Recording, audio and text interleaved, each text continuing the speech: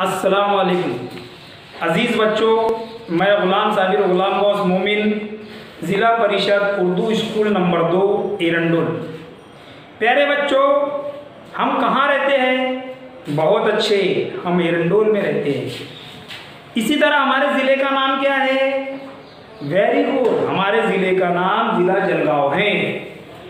हमारी रियासत बहुत अच्छे, हमारी रियासत का नाम महाराष्ट्र है इसी तरह हमारे मुल्क में बहुत सी रियासतें हैं। तमाम रियासतें मिलकर एक मुल्क बना है, जिसका नाम हिंदुस्तान है, भारत है, इंडिया है।